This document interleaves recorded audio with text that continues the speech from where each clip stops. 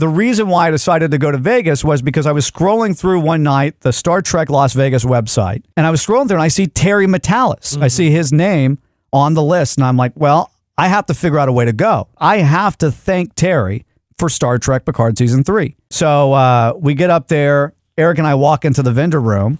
We're looking for Terry, and there's Terry's booth, which is pretty much like oh, right in the front, right, Eric? Mm-hmm.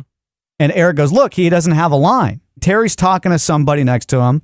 And then he's got his handler who's talking to somebody that's in the line. But I'm like, it's just one person. So I go up there and I'm using this time to look at what picture I want Terry to sign. Right. And I find the picture, I pay the guy the money, and I go over to Terry and I say, Terry, I flew from Dallas, Texas this morning, and I'm flying back today and in just a couple hours.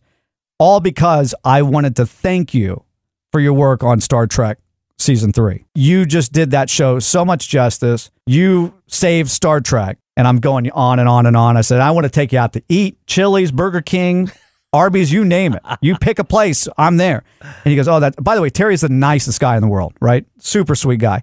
And he's like, Oh my gosh, so thank you so much. He's giving me all these stickers and patches and stuff. He's like, Here, take this, take this. Loaded them up on Yeah, on- merchandise. I got so much swag, Terry Matalas swag. It was crazy. He said, "I'm so glad this guy here was here to listen to all the things that you had to say about me." I turn over, it's John de Lancie, Q, that he's been talking to the whole time.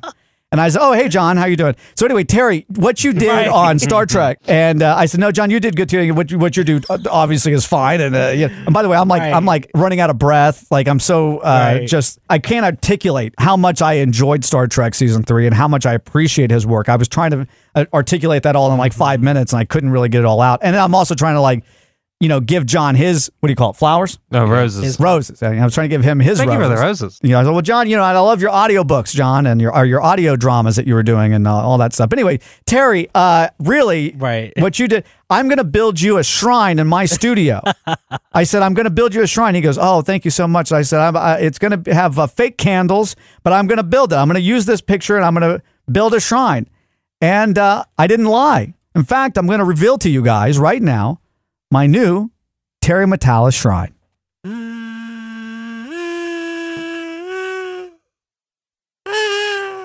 that was it.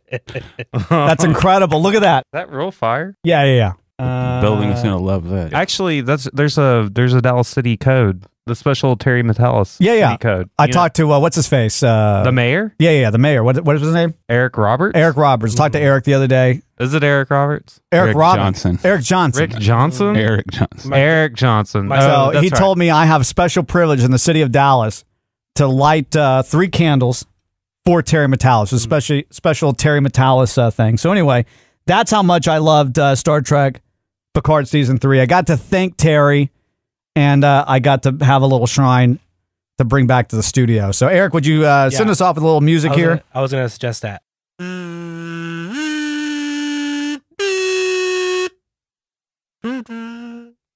I don't know. Oh, thank you so much, Eric. That was so great.